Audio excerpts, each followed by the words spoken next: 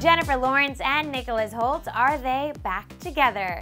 The two stars sparked rumors that they were indeed a couple again after sharing a romantic dinner together. The 22-year-old Oscar winner and the 23-year-old British actor were spotted leaving a Hollywood restaurant together just last night.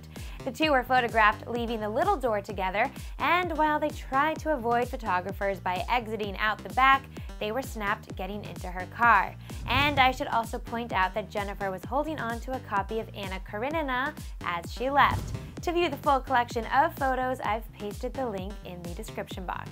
Now, while Jennifer and Nicholas dated for two years, they recently split up back in January. They first met on the set of X-Men First Class.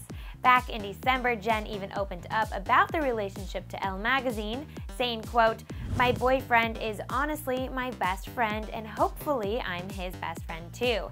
He's my favorite person to be around and he makes me laugh harder than anybody. Cute. While I definitely love these two together, it's also possible that they are just friends. They are currently working together on the newest X-Men movie called Days of Future Past. Imagine that, people staying on good terms with their exes, right? Keeping it professional, I like it. What do you think though? Is J-Law rekindling her relationship with Nicholas or was this just a friendly outing? Let me know what you're thinking by commenting below and then make sure you hit that subscribe button before you go if you have not done so already.